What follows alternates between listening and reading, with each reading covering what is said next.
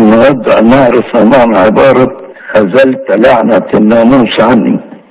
المسيح قبل اللعنة بدلا منا لأنه مكتوب ملعون كل من علق على خشب. فقبل اللعنة بدلا منا.